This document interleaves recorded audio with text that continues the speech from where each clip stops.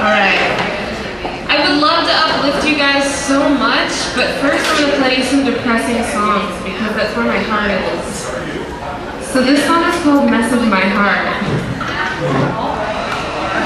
Right? Yes. Yeah.